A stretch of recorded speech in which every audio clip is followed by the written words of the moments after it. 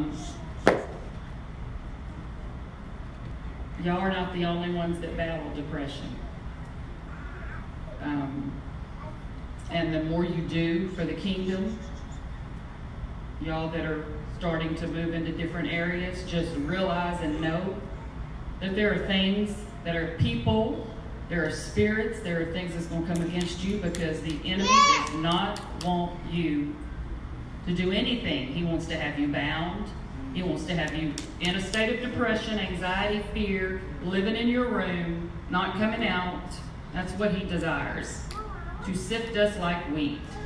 He desires to destroy us, and um, we can't allow that. And that's what this lesson is about what it is and how to deal with it. So I'm just going to go over some of it.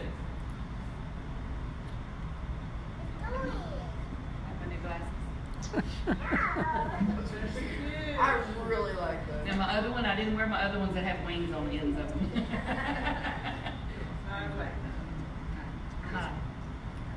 And I have my deal on from Unveiled Ministries today. Shout out to my friend Stephanie Montez, who is the leader of it. Um, we got this when we went to our deal. It says, "Time to make a change." Unveiled Ministries, and um, I feel like that some of us have battled depression and anxiety and fear for way too long, and it's time to get out of that. And the way you do that is to get into this word here, to know the word. Alyssa called me last night, and I, I probably completely, the question that she asked was like, I was probably way off base. But, um, like I told her, when you go through things, you going to help me teach today? Oh, hallelujah. Thank you, Jesus. Okay. Um, and you don't know that word and you don't have that word in your heart, not that you can't reach out to other people. Obviously, that's what we're here for as a family and as a sisterhood. That's what we should be here for, for each other. No, you use that as a mic. Um, but you've got to know that word. You have to research that word. This child, he's a sniper. Okay. Look, you want me to give you that and let you go right? Because I don't need it. Here. Yeah, you take this. Look, take this. Just use us. We have a little one in the house. Here, go right. Go right. Right there. Yeah. Go right. Very right. You said right. Hey. Hey. We're gonna start out. No, you're right. It ain't gonna You're gonna have to get him. Right on the floor. Depression. This is the dictionary, Webster's dictionary definition of what depression is. A state of feeling sad, dejection, anger, anxiety, and depression. All that goes together. It's because my, my lesson was actually on anger, I mean, uh, depression and uh, anxiety, fear. And I was look, when I started looking all of that up, it's like it all meshes together. When you are depressed, you're going to be anxious. You're going to have, there's a spirit of fear that attaches itself to you. So it, it really all goes together, which is when I started researching it was amazing. It's a mood disorder marked especially by sadness, inactivity, difficulty in thinking and concentration. Y'all been there? A significant increase or decrease, increase for me in appetite, and time spent sleeping. Does yeah, does this touch anybody today? Feelings of dejection and hopelessness, and sometimes sometimes suicidal tendencies. And I know there are people that are not here today. Um, there's people that had to work, but I've dealt with ladies in this group with suicidal tendencies because that's just part of what they deal with. Anxiety is an abnormal and overwhelming sense of apprehension and fear, often marked by physical signs. You actually, it comes out physically. such as tension, sweating, increased pulse rate, because you doubt your own capacity to cope. You feel like you can't do it.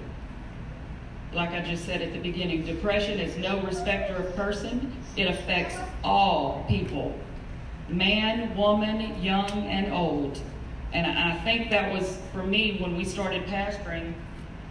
Um, I was shocked at the elderly, at the ones that were older that were so depressed. And I don't know why I was. I have no idea. I, maybe I just never dealt with, but it's no respecter of persons. It does not matter. And it can be years and years and years, so it doesn't matter your age. It doesn't matter. And I'm, I'm finding that the younger and younger and younger, I feel, because of social media, uh, we dealt with something Sunday of a little girl crying because someone had texted her something that was really rude and ugly, and she was just falling apart. 10, 11 years old.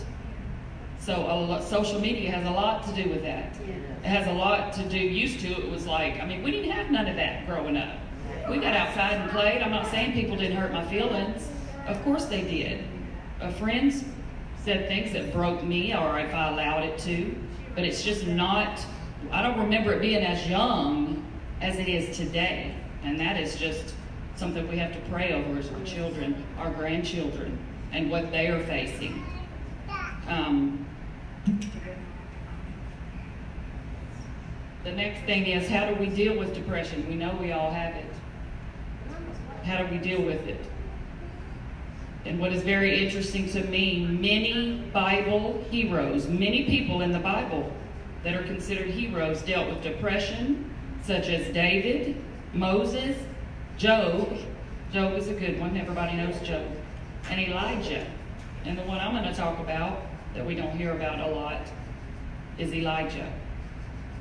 We hear about Job and God taking everything away from him and what happened. But I, I, I wanted to, to, to, dwell on Elijah today. Just up here, even with glasses, I'm like. Elijah had a close relationship with God and was used powerfully by him. He encouraged many people. He helped a widow and her son who only had enough food for one more meal. Elijah told the widow that God would provide, and he did. Later, when the son died, Elijah asked God to bring him back to life. And he did. The widow's hope was restored through Elijah being used by God. He did many amazing works by the power of God, but the Bible shows that even great men of God or women can get tripped up by the trials and the challenges of living God's way in a world under the sway of Satan. Think about that. We're constantly battling the enemy. Right here. Constantly. Not only was Elijah hated and threatened with death by Queen Jezebel, he also felt his work had been in vain, that everything he had done was for nothing, and that no one else was supporting God. He felt totally alone, vulnerable, and hopeless. Anybody feel that way right now? I know I do. I have.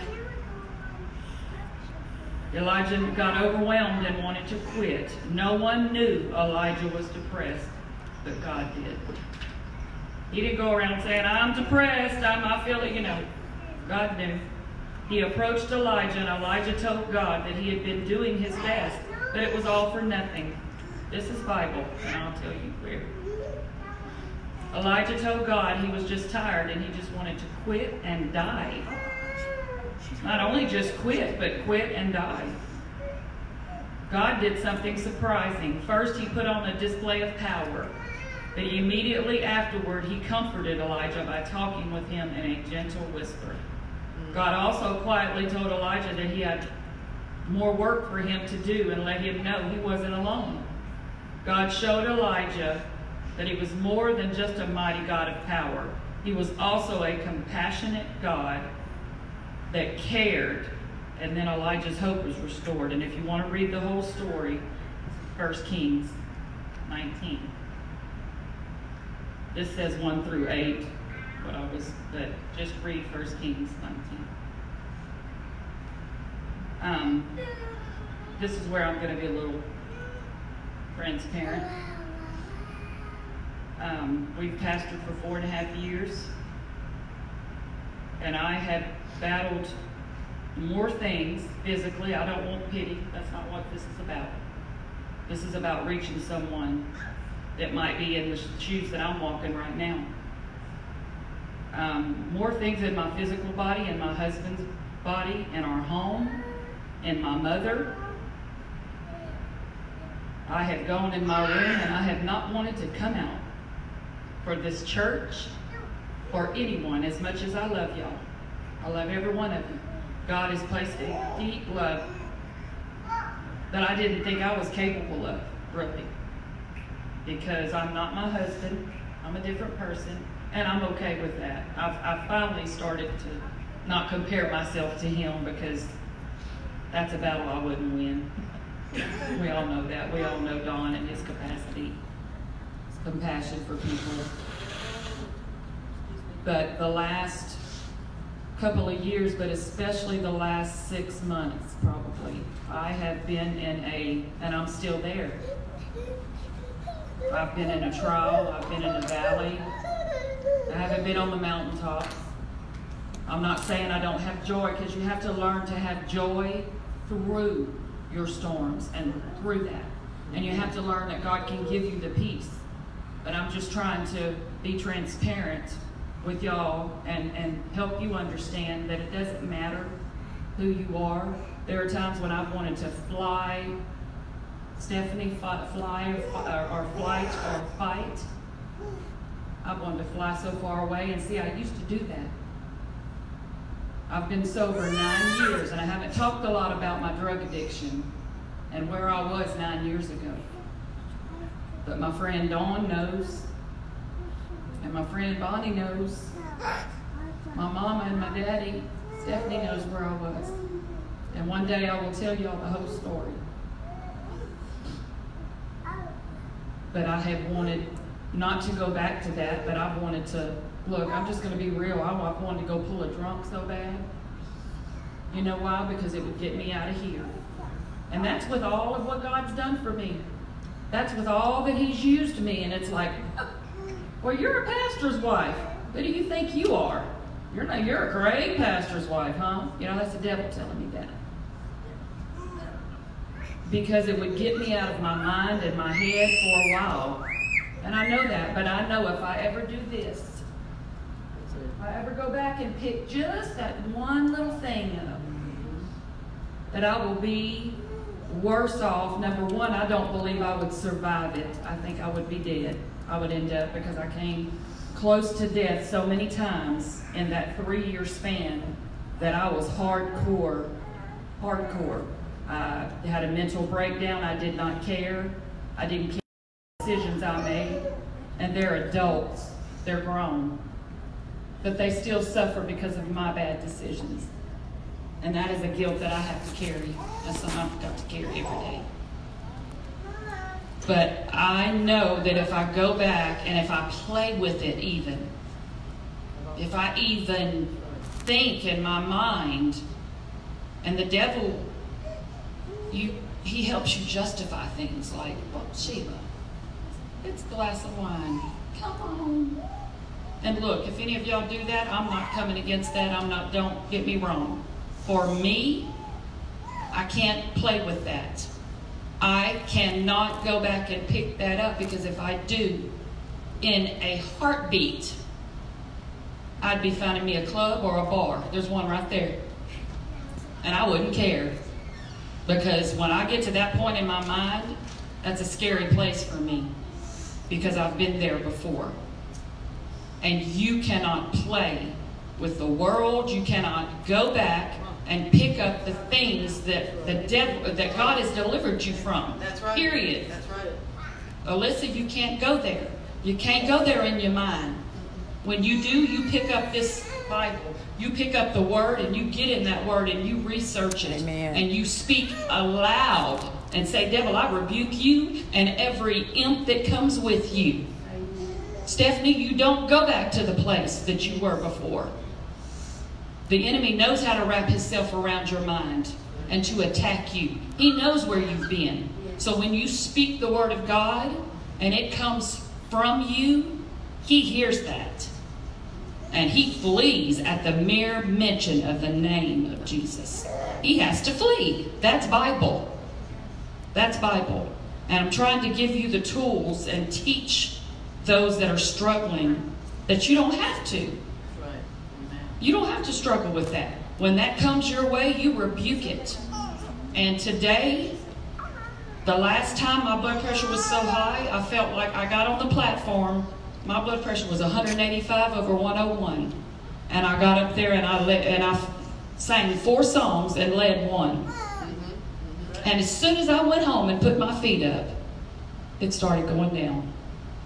Now you tell me what that is. I have missed more church in the last two or three years, but especially in the last six months. The last month, the month of July, was just horrible.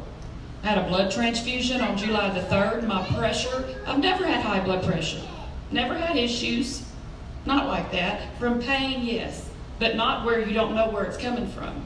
I went to the doctor yesterday. I was up to 12.1. My hemoglobin, it's back down to 9.8. The enemy's still battling me. But I refuse today, if I had to crawl in here on my hands and knees, I was going to be here today. Because I need this. If I don't reach one person in this building on Facebook, I'm talking to Sheila. I need this today. I have a mother that's battling cancer, and I watch that every day. I watch her try to hide things from me. And I know she's hurting. And I get frustrated. and I say, God, why? I watch you heal people. Why? I don't understand. There's people in this church that you've healed. There's people that are battling cancer addictions right now. And I don't understand, but I know that there's a God that knows and our steps are ordered. Angie Lloyd God is covering him no matter what. What man says, God's got him covered. He's got you covered. And if y'all wasn't in this church at this time in your lives, God knows where you would be. Because I know what you battle and how much you hurt seeing someone you love. See, God is allowing me to go through that because I understand what you were feeling. Not my husband, but it's my best friend. It's my mama. So I know, I understand. He's allowed me to go through pain because there's people in this church that live with it every day, every day. So I know that He's allowing me to go through things so I can understand what you're going through, the pain that you're having. It may be a different pain. The pain that Martha suffers with every day, the stomach pain. I understand that. So when they call me and say, Sister Sheila, can you pray with me? Pray over me? I know. and it comes from a place of knowing. So we have to understand that depression is real, that we're going to struggle, we're going to battle with it. But this word, getting in this word and in the Bible is what's going to help us make it through. We're not going to do it on our own, people. We are not. We will not make it. I don't know how I made it. Well, actually, I do. I turned to drugs and alcohol and other things for th- over three years in my life. That's the only way I got away from it here. Because in a sober state, I can't do it without God. And I'm not going to ever turn back. I'm not going to do it. I'm not going to do it. Does it seem like you're doing your best only to have one crisis after another come upon you? Do you feel like the world is crashing in on you? You want to just give up? God's Word has plenty to say about discouragement and depression and how to deal with it. How to deal with it. That is the most important thing. You got to know how to deal with it and get through it. You got to know that there's a God that loves you enough to help you get through this. He's given us this word. This is our tools. It's got a lot of things in here. Excuse me.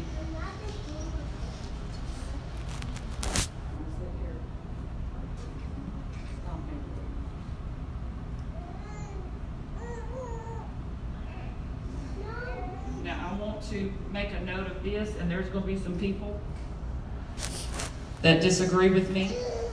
Probably not in this place, but I just went to a conference. Mom and I had, had a BJ. Unveiled Ladies Conference. And they had Bonnie Marshall there, who is, who, V-A-N-I Marshall. She's a little bitty. I didn't realize how petite and small she was because I've only seen her at camp and her up on a platform where there's 3,000 women and she's a certified counselor, got all kinds of degrees behind her name. She's a Christian. And um,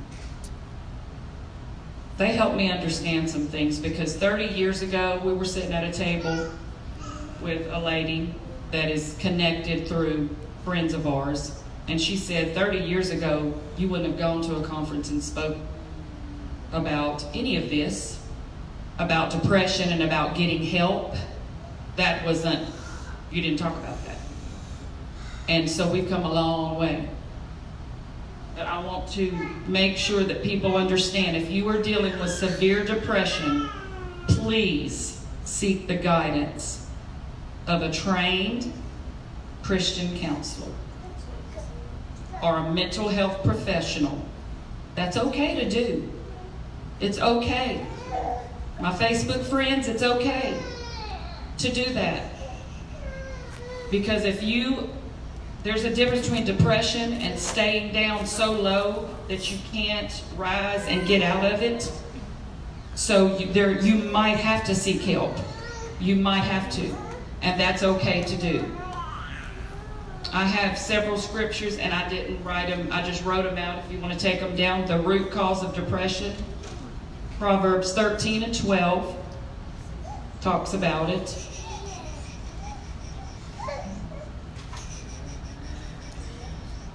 In Proverbs 18 and 14.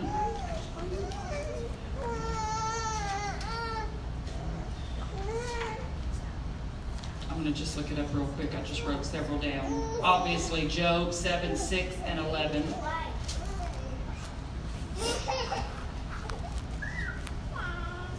Get to Proverbs. Does say 13 and 12.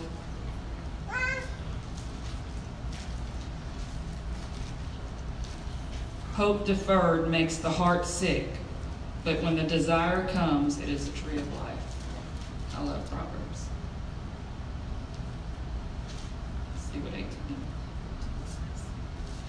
This is talking about the root cause of depression. Proverbs 13 and 12 is the first. It's talking about losing hope. Proverbs 18 and 14. If someone wants to look up Job 7 for me, 6 and 11, while I'm looking this up.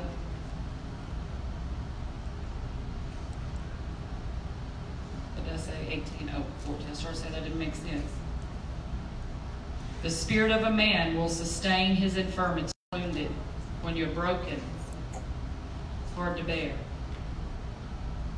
We become depressed when we lose hope. When we feel there is no end in sight, we lose hope, and thoughts of giving up will surface. Does somebody have Job 7 for me? 6, and 11.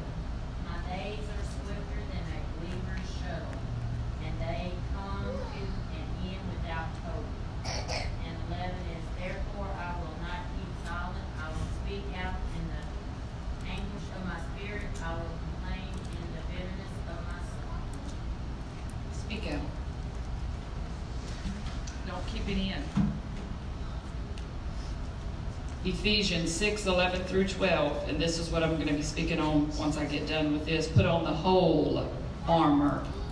That is so important. Ephesians 6 11 through 12. That you may be able to stand against the wiles of the devil, for we wrestle not against flesh and blood, but against principalities, against rulers, I believe it goes on 2 Corinthians 2, 7, and 11.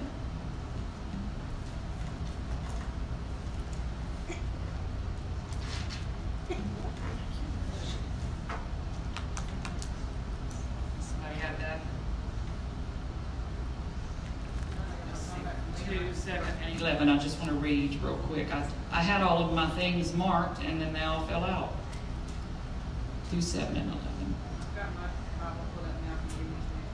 So on the contrary, you ought to forgive him and comfort him, lest perhaps he might be swallowed up with excessive sorrow. Hmm. 11. Lest Satan should take advantage of us, for we are not ignorant of his devices. Satan wants us to fall. Do y'all know that's his business? That's what he does. Yes, what the Bible says steal, kill, and destroy. He wants us to give up. So when we are discouraged, Satan will make sure to broadcast his evil ways and thoughts towards us. He will attack our mind. When I pray for people, you'll see me do this a lot. I am praying over your mind. Because as women, I'm not a man, so I don't know necessarily how men and that, but I do know yin and yang. Men and women deal with things differently. We are emotional creatures. And this right here, our mind, is the, the strongest thing to me that can take us out just completely. So you will see me covering you and praying for you. I've done this to myself. I pray for myself, and it's okay to do that, by the way. Pray for yourself. That's the first thing you should do every day. Before you pray for anything or anyone else, you, you cover yourself in prayer. You cover yourself. We must guard our thoughts or we will become even more discouraged. Um, but someone find me 1 Peter 5, 6 through 9. Steph? Oh, he's got it. Okay. Polly's getting it, I think. This is talking about the armor of God, which actually I already have a already have a deal started on the belt of truth. But I just felt like this was so necessary right now.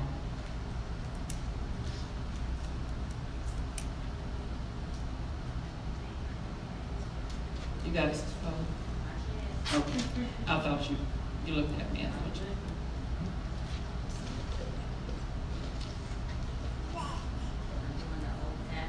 That's good.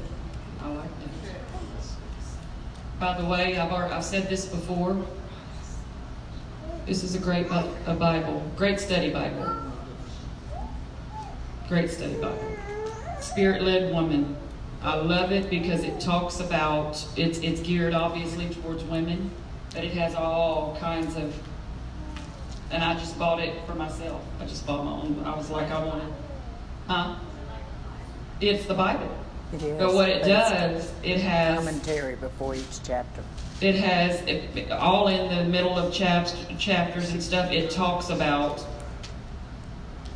uh, like this one, and you can fill stuff out, empowering your children.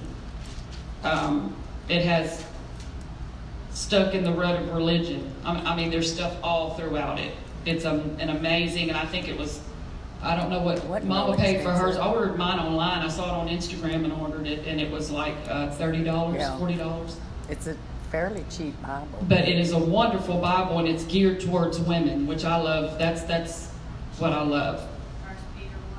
1 Peter 5, 6 through 9.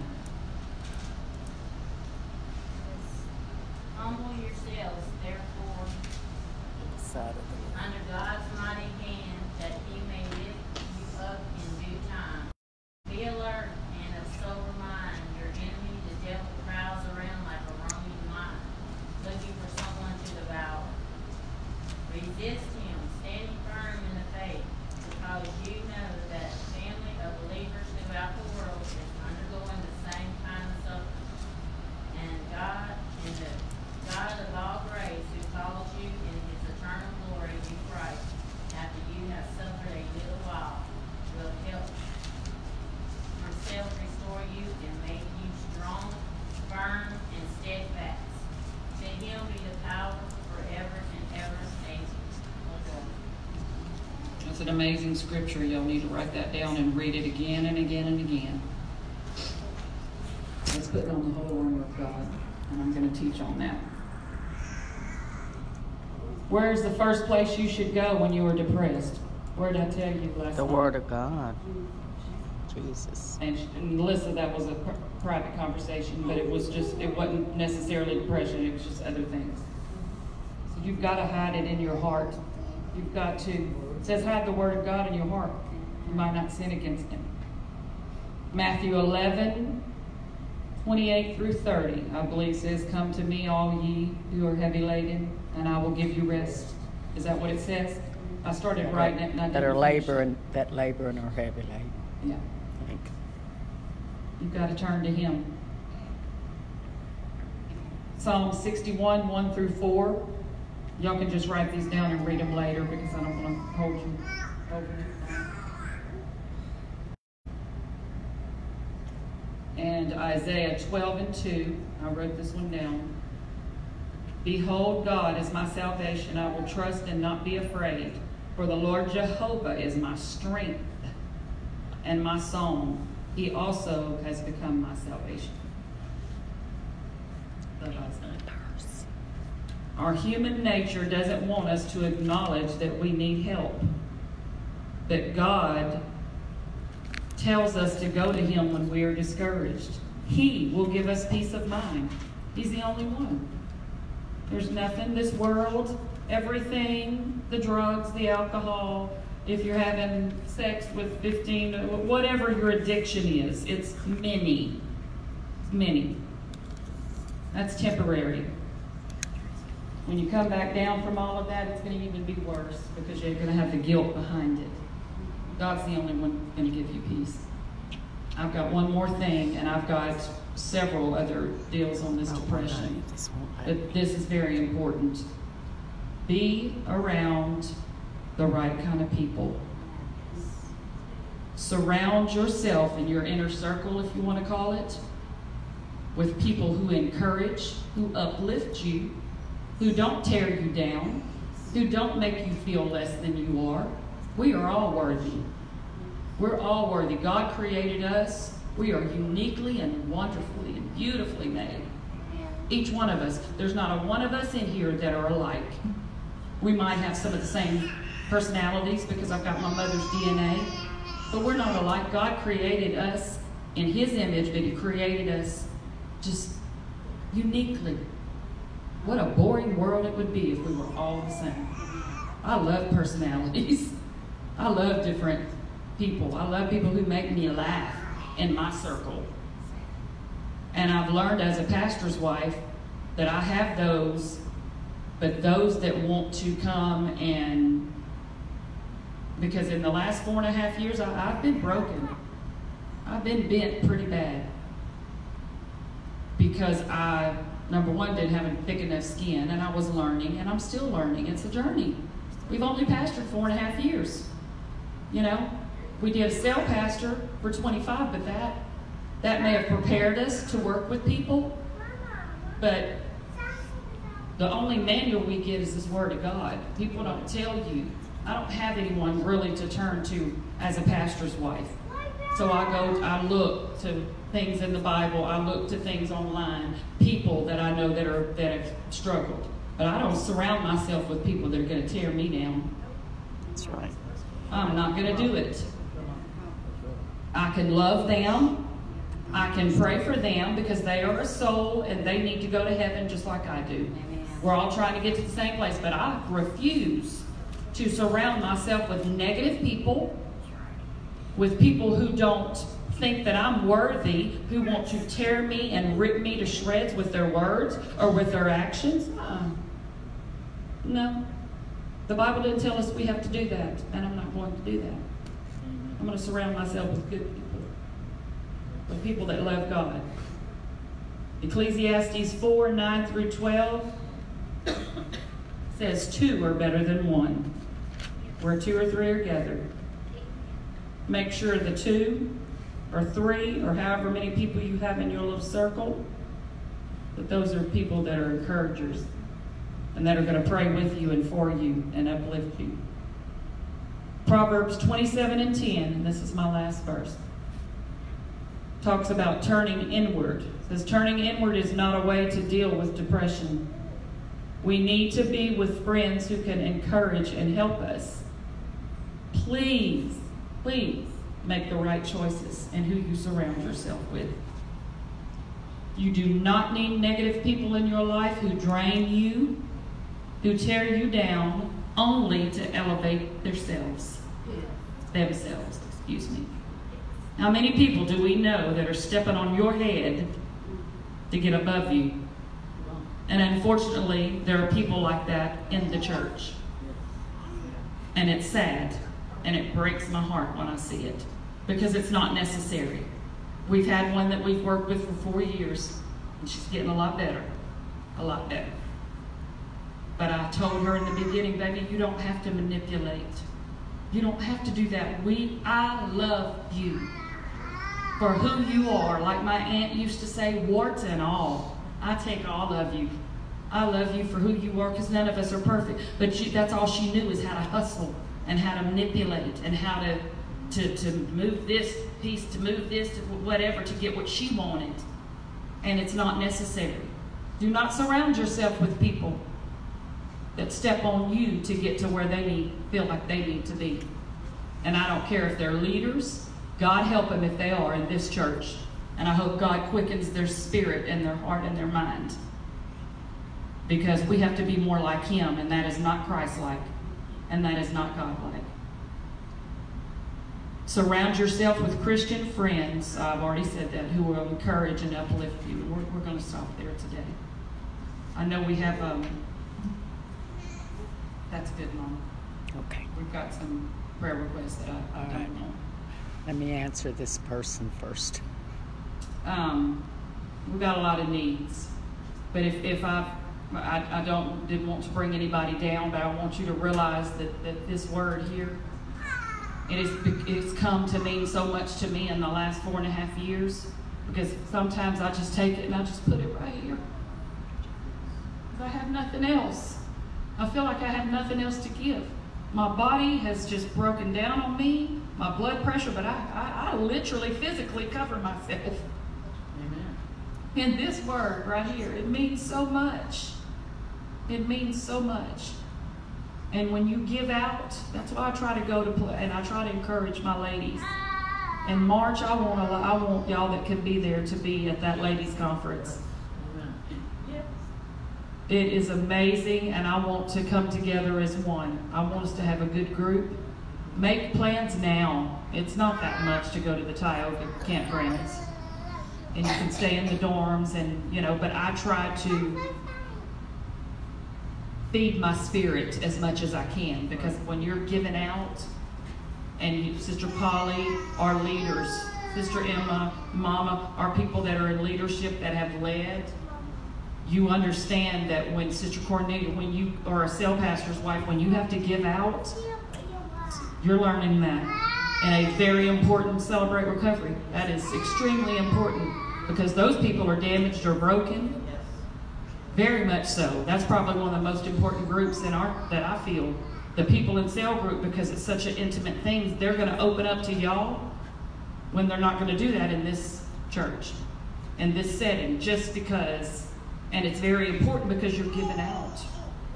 You're giving to them that you feed your spiritual side. And you feed that and you fill that back up. Sister Rachel Crum told me one time at Living Way, Sheila, you, now you've, after I got praying, finished praying, she said, you've emptied out. You've emptied all of that negativity, all of that out. Now you got to fill it up. You're going to fill it up with the world or you're going to fill it up with God. Two things. I have never forgotten that. And that has been probably 15 years ago. Because it's true. There's been times that I filled it up with the world and the things of the world. And that didn't get me anywhere but hopeless and despair, anger, mistrust. And it took me years. It's been nine years. Taking my family. And I, I have a, a son that still deals with that because of me. And um, I know that God is the only way, that He is our only hope and our only salvation, and we have to turn to Him in times of need and in times of despair. Um, what I would like to do, I have this chair here. Mama, have Okay. you turned that off? I'm fixing to.